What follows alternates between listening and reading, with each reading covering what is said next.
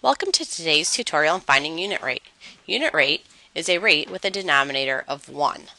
When we look at 25 miles for 30 minutes, we want to know how far we can go in just one minute. Therefore, we're going to divide both the numerator and the denominator by 30. 30 minutes divided by 30 is 1 minute. That is our objective. 25 miles divided by 30 would be 0.83 repeating. However, we don't like to use repeating decimals or approximations, therefore we'll convert that to 5 sixths of a mile. Therefore, the unit rate of 25 miles to 30 minutes would be 5 sixths of a mile for 1 minute. The next example is $1.60 for 12 ounces. This is especially helpful when you're grocery shopping.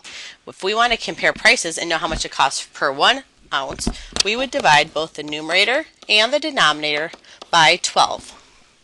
12 ounces divided by 12 leaves us with the cost for 1 ounce.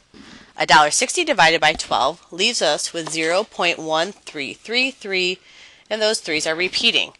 That doesn't make sense to convert to a fraction because it's money. Therefore, we will round to 13 cents for 1 ounce.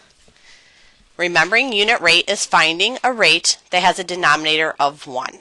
That was your tutorial on unit rate.